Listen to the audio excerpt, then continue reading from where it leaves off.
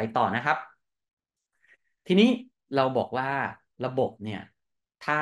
เกิดมันเป็น half side curve แบบนี้ หรือว่า half side curve แบบสเวออกข้างในรูปแบบเดียวกัน เราก็พอที่จะตอบได้ว่า Euler buckling load มีค่าเท่ากับ pi กำลังสอง ei หารด้วย l กำลังสองอันนี้อธิบายให้ฟังไปแล้วมาจากไหนนะครับ เราพิจารณาในอดีตนะครับ ปัจจุบันจะเริ่มพิจารณาตรงนี้น้อยลงไปเรื่อยๆ จากมินิคอร์สครั้งที่ 5 อธิบายไปแล้วว่าเพราะอะไรนะครับ ถ้าท่านไหนยังมีข้อสงสัยอยู่ลองไปดูวิดีโอคลิปนะครับใน v l o v e Steel Construction ในเว็บไซต์ใหม่ก็ได้นะครับ เราจะเห็นภาพนะครับว่าค่า K factor ที่ในอดีตเคยแนะนำมานะครับ มันจะไปสอดคล้องกับลักษณะของการเสียรูป อันนี้ถึงอธิบายว่า buckling หรือว่า stability มันคือ strength ที่สอดคล้องกับ deform shape เพราะ deform shape แต่ละรูปแบบของการ deform มันจะส่งผลต่อกำลังรับแรงที่ไม่เท่ากัน ถ้าเกิดว่ามันเป็น fix fix นะครับ K สมัยก่อนเราก็กำหนดว่ามีค่าเท่ากับ 0.5 เพราะ 0.5 คูณกับ L ยกกำลังสองได้ 0.25 เศษ1ส่วนส่วน0.25 แปลว่ามันต้องใช้แรง 4 เท่าของ Euler buckling load นะครับ ในการทำให้ระบบ ตัวนี้เกิดการวิบัตินะครับ แต่ถ้าเป็น cantilever column cantilever column ก็จะเป็นลักษณะตัวนี้ถูกไหมครับ ซึ่งมีค่า k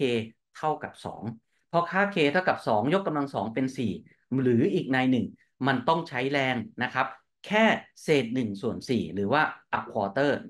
นะครับของ Euler buckling load ในการ buckle ระบบนี้ให้เกิดการวิบัตินะครับ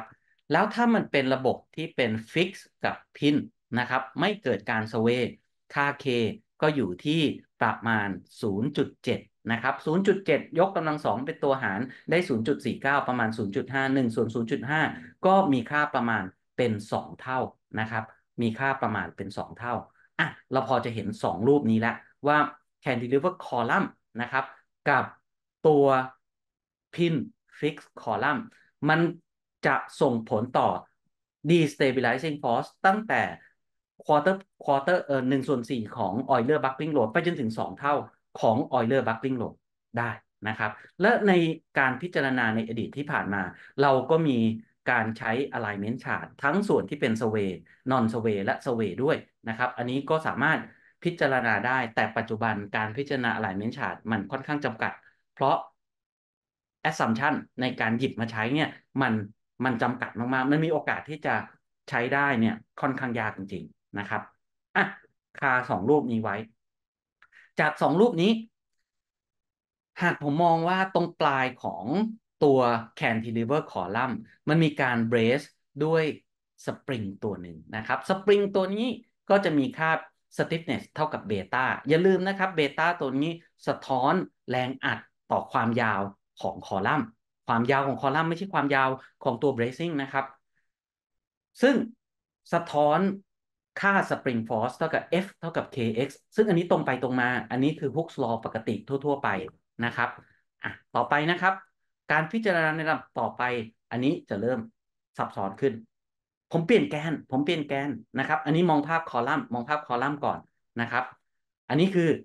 ถ้าเกิดว่าเบต้าผมไม่มีเลย หรือว่าอีกในหนึ่งไม่มีสปริง มันก็คือภาพที่ที่เป็น cantilever column อันนี้ผมคิดว่าทุกคนน่าจะเข้าใจตรงกัน แต่ทางรูปขวามือถัดมา คือรูปนี้สะท้อนภาพว่า beta หรือว่า spring stiffness มีค่าอเนกอนันต์สูงมาก ๆ สูงมาก ๆ คล้ายๆกับมันเป็น roller ในทิศทางต้านทานการเกิด translation ในทิศทางทางแกน x อันนี้เบต้า infinity นะครับ เพราะฉะนั้น จากข้อมูลที่ปรากฏเนี่ยนะครับ ถ้าเกิดผมเปลี่ยนแกน ผมเปลี่ยนแกน เป็นลักษณะของ horizontal member เป็น beam บ้างละ่ะ เป็น cantilever beam ตัวหนึ่ง ถามว่า spring stiffness ของตัวนี้มีค่าเท่าไหร่จำได้ไหมครับ ในการพิจารณาครั้งก่อน ครั้งก่อนหน้า เราคุยกันเรื่องของ stiffness ถามว่าหา stiffness ของตัวนี้ทำยังไง อันดับแรกเราก็ไปหา bending moment equation เมื่อเทียบกับแกน x เราก็ดิฟ2ครั้งไอ integration ออกมานะครับ แล้วก็หา boundary condition เพื่อที่จะดูว่า displacement ที่เกิดขึ้นในทิศทางตามแรง F ที่กระทำเนี่ย มันมีค่าเท่าไหร่ และค่า stiffness เราก็จะสามารถหาได้จากหลักการนั้นนะครับอะอันนี้ครับ เราสามารถหา bending moment ตามแกน x ได้ ในรูปแบบนี้ เราก็หา equation ออกมา แล้วก็ทำ integration ออกมาจนท้ายที่สุด เราก็ได้ผลออกมาว่า f คูณกับ l กำลัง 3 ส่วน 3 ei เท่ากับระยะ y ซึ่งตรงไปตรงมา หรืออีกในหนึ่งคือแรงนะครับ ที่เรียกว่า cantilever เอ่อเป็น point load มีค่าเท่ากับ 3 ei หารด้วย l กำลัง 3 แล้วคูณกับ displacement หรืออีกในหนึ่ง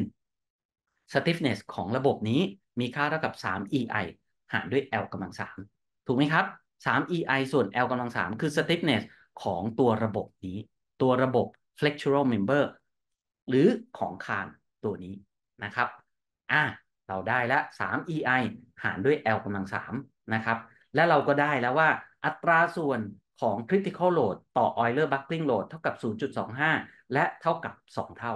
นะครับ อะ อันนี้คิดว่าหลายท่านน่าจะเคลียร์ ไม่ง่ายนะครับ เดี๋ยวจะต้องเข้าใจต่อไป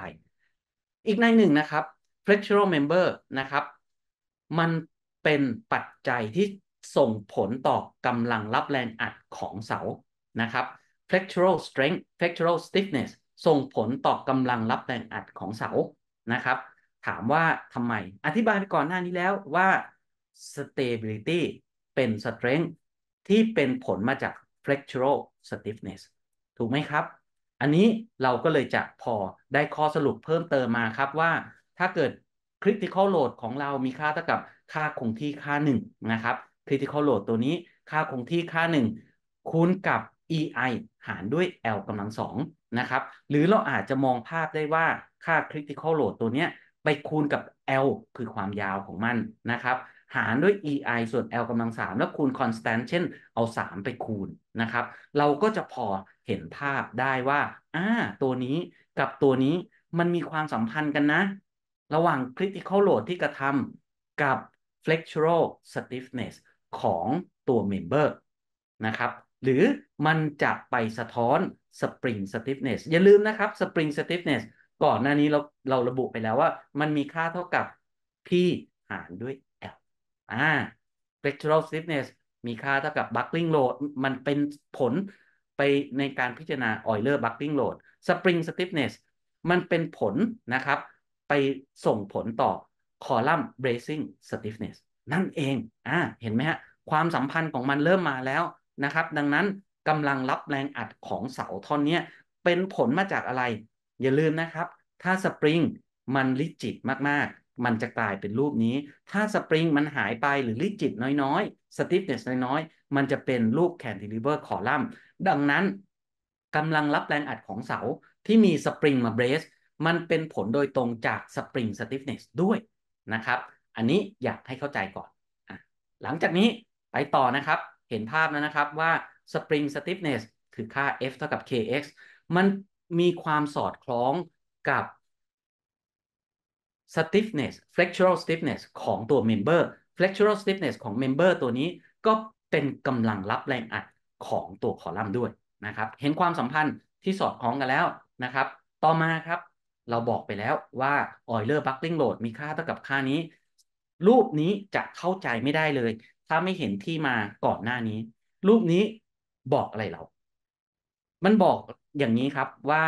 แกนนอนคือเป็นเขาเรียกว่า ideal stiffness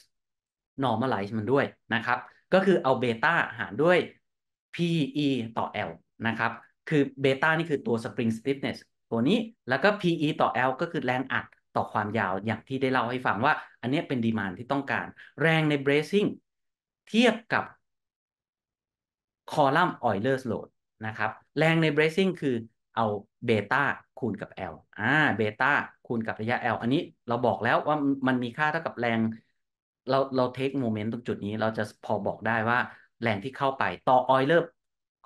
คอลัมน์ Euler's load นะครับ แล้วก็ในทิศทางตามแกนตั้งคือแรงวิกฤตในเสานะครับ อันนี้มันบอกอะไรเรา มันบอกภาพว่า อ่า ถ้า spring stiffness มันเปลี่ยนไปนะครับกำลังรับแรงอัด มันก็จะเปลี่ยนไปด้วย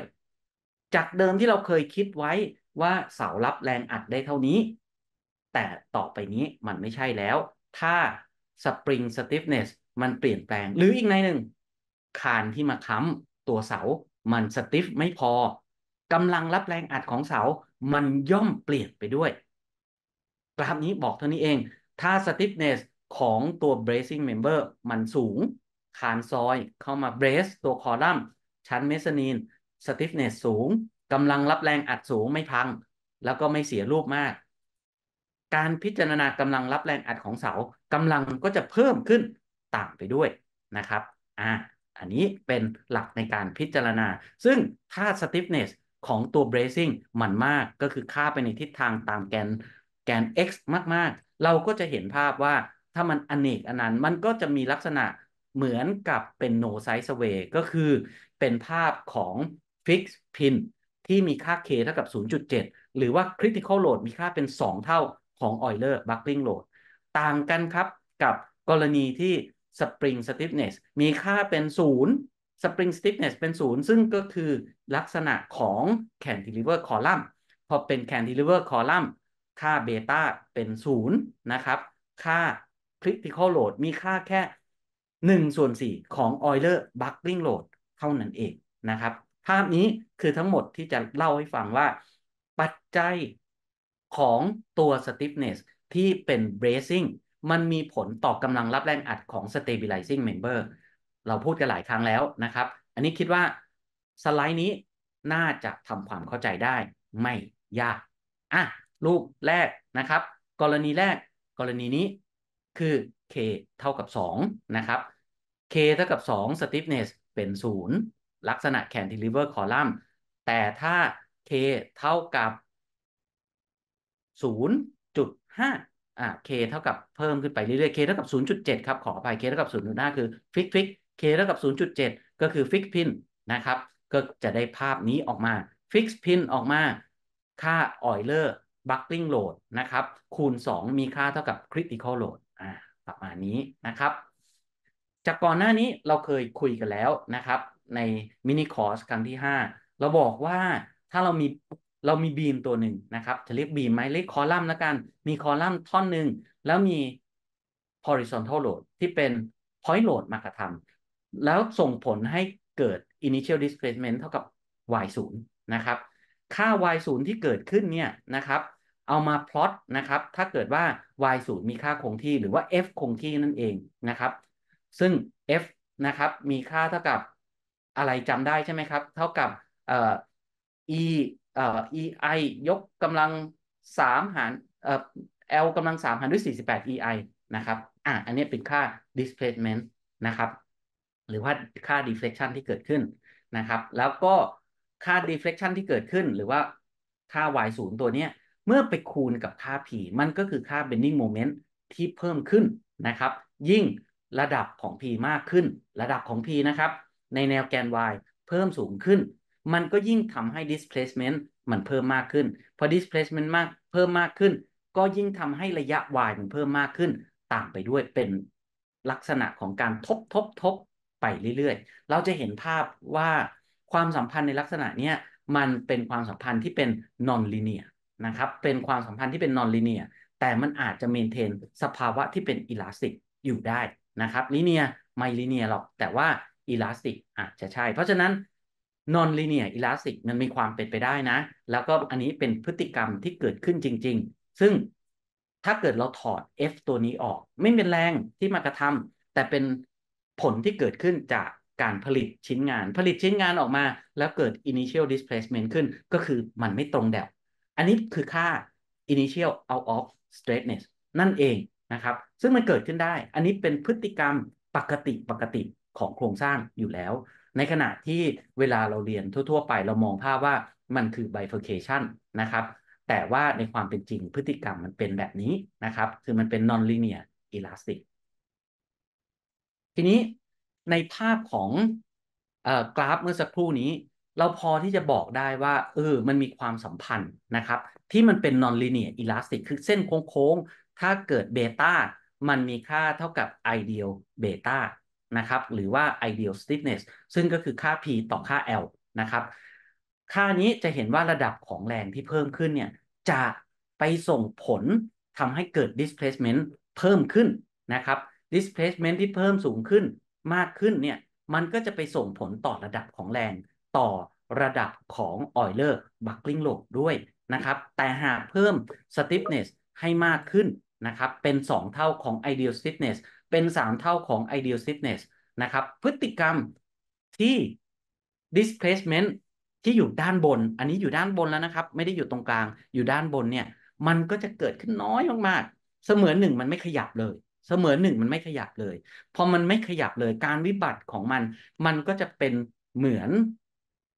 พินพินคอลัมแบบปกติทั่วๆไปที่เราใช้ K เท่ากับ 1 นั่นเอง พอจะเห็นภาพแล้วนะครับว่า Spring Stiffness หรือว่าตัว bracing stiffness ของ bracing ย่อมมีผลต่อการพิจารณากำลังรับแรงอัดของ compression member stabilizing member นั่นเองนะครับ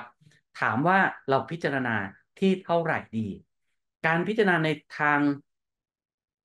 theory อาจจะไม่ได้เยอะมาก อาจจะอยู่ที่ระดับสักประมาณ 0.4%ของ PE นะครับ ที่จะสามารถที่จะ ensure ได้ว่าค่า แรงที่กระทำมีค่าเท่ากับ Euler bucking load อันนี้คือสิ่งที่เราต้องการถูกไหมครับ คือเราคำนวณกำลังรับแรงอัดของเสาตาม Euler bucking load เราต้องการให้ P ที่กดลงมาเนี่ยรับแรงได้จนถึง PE อันนี้คือ target ของเรานะครับจะทำยังไงให้มันถึง PE ได้ คือให้มันไปสู่ค่านี้ให้ได้ คือ P ต่อ PE เท่ากับ 1 แปลว่าถ้าเกิดเราใช้ ideal stiffness โอกาสที่มันจะเป็นไปได้ มันเป็นไปได้ยากมาก 2เท่าก็เป็นไปได้นะครับ3เท่าก็ยิ่งดีมันสามารถ achieve P เท่ากับ PE ได้อย่างรวดเร็วได้อย่างง่ายดายนะครับ ในทางการพิจารณาที่เราเรียกว่าระเบียบวิธีในการคำนวณ ค่ามันอาจจะไม่ได้น้อยขนาดสักประมาณ 0.4%ของแรงอัดที่กระทำแต่มันอาจจะขึ้นไปที่ระดับ 1%ของแรงอัดที่กระทำคือแถวๆนี้ เพื่อที่จะ ensure ให้เกิดความมั่นใจได้ว่า คอลัมน์ไม่เกิดการวิบัติ อันเนื่องมาจาก bracing มี stiffness ที่น้อยจนเกินไป ทั้งหมดที่อธิบายมาคือเท่านี้เองนะครับ อ่าเราไปต่อนะครับ เราพิจารณาแถวๆนี้ นี่คือระเบียบวิธีในการพิจารณาของมัน อะ stability bracing ความเดิมนะครับ การออกแบบเสาและคานวิศวกรผู้ออกแบบต้องกำหนดเงื่อนไขสมมติฐานว่า unbrace length มีค่าเท่าไหร่ และเมื่อออกแบบเสาคานเสร็จเรียบร้อย จริง ๆ แล้วเราต้องตรวจสอบว่าตัว bracing ค้ำยันเพียงพอหรือไม่ เพียงพอประกอบไปด้วย strength เพียงพอกำลังเพียงพอ stiffness เพียงพอ หรือว่าต้านทานการเสียรูปที่มากเพียงพอ และในการพิจารณาสมมุติ หลาย ๆ ท่านลองขับรถผ่านไป มันมีไซต์งานก่อสร้างเยอะมาก แล้วเราก็จะเห็น tower crane นะครับ tower crane เนี่ยมันเป็นระบบที่ค่อนข้างชลูดนะครับ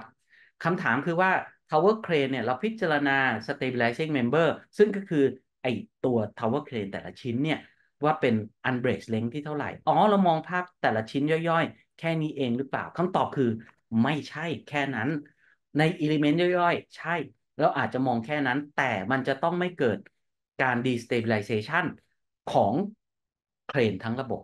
จะทำยังไงไม่ให้เครนทั้งระบบเกิดการ buckling แน่นอนครับ เขาจะต้องมีการ cut off ความยาวที่เรียกว่า unbrace length ของตัวเครนเนี่ยไม่ให้ยาวชะลูดมากจนเกินไป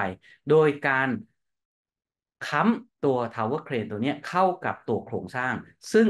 แทบไม่เกิดการเสียรูปทางข้าง เสมือนหนึ่งอาคารที่ทำการเทพื้น เทเชียร์วอลเสร็จเรียบร้อยแล้ว มี tower crane เข้าไปเกาะนะครับ มันจะไม่เกิดการเสียรูปออกทางข้างนะครับ อันนี้เป็นหลักสำคัญในการพิจารณา คือพิจารณาทั้ง element ย่อยๆ และ global ทั้งระบบด้วยนะครับ ต่อมาครับ ในส่วนของอันนี้เราคุยเรื่องพฤติกรรมไปแล้วนะครับ หลังจากนี้จะเป็นในเชิงระเบียบวิธีในการพิจารณา ระเบียบวิธีหมายความว่ายังไง หมายความว่าสมการเขาใช้อะไรนะครับ และเพราะอะไร อันนี้ถ้าเราสามารถทำความเข้าใจได้จะดีมาก นะครับ ในระเบียบวิธี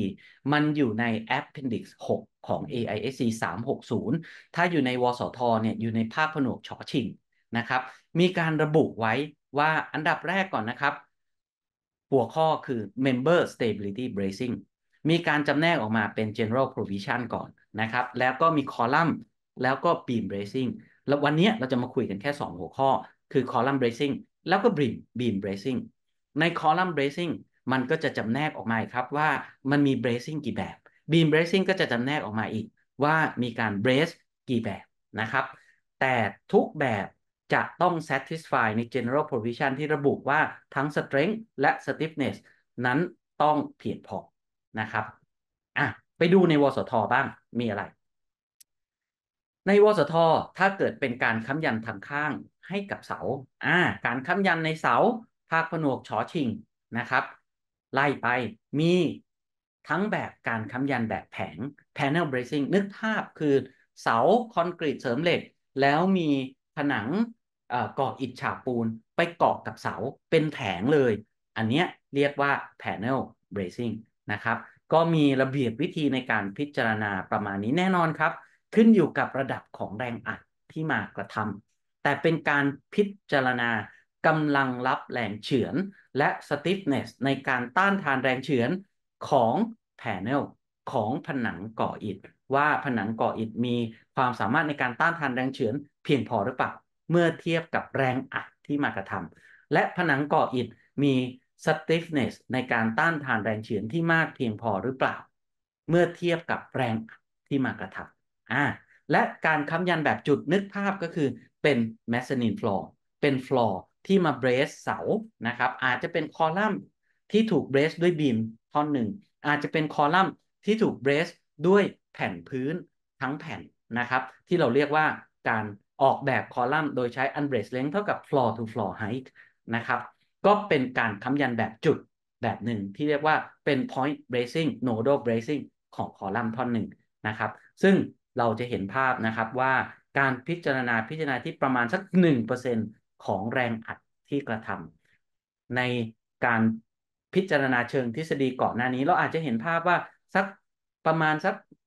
0.4% 0.5%อาจจะเพียงพอ แต่ว่าในระเบียบวิธีก็เผื่อไปเป็น 1 เท่าเออเป็น1%นะครับ แล้วก็ stiffness ที่ต้องการมีค่าประมาณ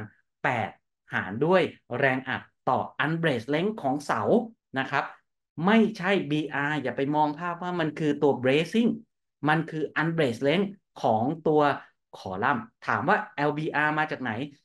ไปดูคำอธิบายก่อนหน้านี้นะครับ ที่เรามีคอลัมน์ท่อนหนึ่งแล้วมีตัว tension member มา brace ไว้ และ member ที่มันจะเกิดการ displace ออกไปในแนวนอนตัว tension member มามา brace ไว้นะครับ มันขึ้นอยู่กับอัตราส่วนของ P ต่อ L ที่มามันอยู่ตรงนั้นนะครับ อะ ต่อไป column bracing นะครับ เหลืออีกประมาณ 7 นาที พยายามทำให้จบตัวอย่างให้ได้นะครับ column bracing อันนี้เราว่าไปแล้วเสาที่ค่อนข้างชลูดก็เกิดการหดหดสั้นลงนะครับในสภาพ elastic เราเรียกว่า elastic shortening นะครับในขณะเดียวกันถ้ามันถึงระดับแรงประมาณหนึ่งมันจะเกิดการ buckling รอบแกนอ่อนนะครับความชลูดนะครับพิจารณาที่อัตราส่วนระหว่าง unbraced length นะครับ LB ต่อ R นะครับ LB ต้องพิจารณา และก็ R LB ส่วน R พิจารณาทั้งแกน X แล้วก็แกน Y โดยที่เรามองภาพว่าอันไหนชลูดมากสุด อันนั้นก็จะเกิดการบัคเกิลไปก่อน และประเด็นสำคัญคือความยาว unbraced length เป็นความยาวระหว่างจุดที่มีการค้ำยันทางข้างอย่างสมบูรณ์คำถามที่เรากำลังคุยกันอยู่ทั้งหมดเนี่ยมันสมบูรณ์จริงหรือเปล่า รู้ได้ไงว่ามันสมบูรณ์คำตอบคือเช็คทั้ง strength และ stiffness ของตัว bracing member ว่ามันสมบูรณ์หรือไม่อย่างไร ภาพนี้เป็นภาพที่สะท้อนอะไรครับ เรามีคอลัมน์ แล้วเรามีผนังก่ออิฐ เช่นเราใช้ผนังก่ออิฐฉาบปูน ผนัง infill wall ผนังที่เป็น metal sheet มาเราบอกว่ามันค้ำจริงๆว่ามันค้ำได้หรือไม่ ถ้ามันค้ำได้ มันก็ไม่เกิด buckle รอบแกนอ่อนของคอลัมน์ แต่ถ้ามันค้ำไม่ได้นะครับ ผนังก็จะเกิดการวิบัติแบบ shear failure ในรูปแบบนี้นะครับ โดยพิจารณา shear capacity ของผนัง เอ๊เรารู้ได้ไงว่าผนังมีกำลังรับแรงเท่าไหร่คล้ายๆกันเลยครับ ในการคำนวณ brittle member อาจจะไปดูภาพของการคำนวณ shear capacity ของคอนกรีต alone คอนกรีตเสริมเหล็ก หรือถ้าเป็นแผ่นเหล็ก เราก็ไปดูกำลังรับแรงเฉือนของเหล็กนะครับ ถ้าเหล็กมันเป็น panel นะครับ แล้วมันมีลอน มันก็อาจจะไม่เกิดการ การวิบัติแบบที่เรียกว่าเป็นการเฉือนแบบครากมันอาจจะเกิดการ buckling ที่เราเรียกว่า shear buckling ก็เป็นไปได้ อันนี้ก็ไปพิจารณาตามหลักปฏิบัติที่เราเคยทำกันมาก่อน อ่าสำหรับคอลัมน์ ถ้าเราบอกว่าเรามีแรงอัดที่กระทำนะครับ ตามรูปนะครับ แรงอัดที่กระทำตามรูปก็จะใช้ในการคำนวณออกแบบเสาของเรานะครับ และ คำถามคือว่าไอ้ตัว bracing พวกนี้เนี่ยมันเพียงพอหรือเปล่า มันเพียงพอหรือเปล่า ที่จะ brace เสา against ตัวโหลดที่มากระทำที่เรียกว่า required strength นะครับ เพราะฉะนั้นเราพิจารณาที่ประมาณ 1%เพื่อใช้ในการคำนวณแรงนะครับ ที่เราจะออกแบบตัว bracing member นั่นเองอะไปดูตัวอย่างง่ายๆนะครับ เช่นตัวอย่างนี้ นะครับมันมีการเบรสที่จุดบนกับจุดนี้นะครับเบรสเสร็จเรียบร้อยปุ๊บเราก็บอกว่าอ่าถ้าเกิดว่าเรามีเสาเอ่อที่เป็น H beam นะครับขนาด 200คูณ200คูณ8คูณ12นะครับตัวนี้นะครับตามมาตรฐานมอกเลย คือแน่นอนมันก็ย่อมจะ buckle รอบแกนอ่อนนะครับ แล้วก็ถ้าเกิดว่ามันถูกถูก brace ได้ดีพอ มันก็มีโอกาสจะเกิดการ buckle รอบแกน strong axis สมมุติก่อนว่า ถ้าเกิดว่าเราอยากที่จะป้องกันไม่ให้มัน brace against เอ่อให้เกิดการ buckle against เอ่อ weak axis ตัว bracing ของเรานะครับ ซึ่งตัวนี้คือ 100คูณ50 ก็จะต้องมีความเพียงพอทั้ง strength และ stiffness ตามไปด้วยนะครับ และแน่นอนความเพียงพอขึ้นอยู่กับระดับของแรงที่กระทำซึ่งก็คือ dead load เท่ากับ 40 ตัน live load เท่ากับ 60 ตัน มาดูกันครับ เราก็บอกว่า ตัวโหลดดิ้งที่มากระทำนะครับ เราสามารถคำนวณหากำลังรับแรงอัดของเสาตัวนี้นะครับ ได้ normal เอ่อ nominal เท่ากับ 147.4 จากการใช้ mobile application จากหน้านี้นะครับ ท่านไหนไม่มี mobile application สามารถหยิบมือถือมาสแกนได้เลย ถ้าท่านใช้ iOS ก็สแกนตรง Apple อันนี้นะครับ ถ้าท่านไหนใช้ Android ก็สแกนที่อันนี้ แล้วก็ punch in นะครับ เออ หลังจากดาวน์โหลดเสร็จปุ๊บ ลงทะเบียนซะหน่อยนะครับ ใส่ username password ใส่เสร็จเรียบร้อยก็เข้าหน้านี้ได้เลย พอเข้าหน้านี้เสร็จกรอก dimension 200คูณ200คูณ7คูณ10 นะครับ แล้วก็ดูว่า อะมันมีค่า nominal strength ได้เท่ากับเท่าไหร่ ก็ได้ค่า nominal strength ออกมาตาม mobile application ได้ 147.4 หารด้วยค่า factor of safety นะครับ เท่ากับ 1.67 ได้ allowable นะครับ ของตัวโหลดนะครับเท่ากับ 104.6 นะครับ ไม่เกิน 100 นะครับ เพราะอันนี้เป็น action แปลว่าถ้าเกิด bracing มีความเพียงพอ ถ้า bracing เพียงพอ เสาท่อนนี้ไม่พัง ถ้า bracing เพียงพอ เสาท่อนนี้ไม่พัง ทีนี้จะตรวจสอบ bracing ว่าเพียงพอหรือไม่ตรวจสอบอย่างไร เราบอกแล้วครับว่าพิจารณาที่ระดับของแรงที่ประมาณ 1%ของตัว bracing นะครับ อันนี้คือเช็คกำลังนะครับ 1%ของตัว bracing นะครับ ที่จะถ่ายเข้าสู่ bracing 1%ของ 100 ตันก็คือ 1 ตันนั่นเอง เราคำนวณตัว H 100คูณ100 นะครับ และเป็นเกรด อันนี้น่าจะใช้ถ้าจำไม่ผิดนะครับ ก็คือ SS 400 นะครับ ได้ออกมาเท่ากับค่า nominal เท่ากับ 14.4 ตันแน่นะครับ แล้วก็ พิจารณาออกมาว่า เออ เราหาค่า nominal ออกมาได้เท่ากับ 7.2 เฮ้ย โอเค อันนี้คือใช้ factor of safety เท่ากับ 2 อันนี้อยู่ในโค้ดนะครับ อยู่ใน appendix 6 ไม่ใช่เป็นการพิจารณาค่า axial member เหมือนกับการไปดูการออกแบบคอลัมน์นะครับ อันนี้เป็น stabilizing member นะครับถ้าใช้ค่านี้เท่ากับ 2 ต่อมา stiffness เพียงพอไหมเอา 8 p หารด้วย l นะครับ ได้ค่าเท่ากับ 533 อันนี้คูณ 8 เท่าไปด้วยนะครับ แล้วคูณเอ่อ factor of safety เท่ากับ 2 นะครับ ได้เท่ากับ 5,333 กิโลกรัมต่อเซนติเมตร เทียบกับ axial stiffness ของเอ่อตัวคอลัมน์ AE ส่วน L มีค่าเท่าไหร่นะครับ ก็เอา area ออกมาเท่ากับ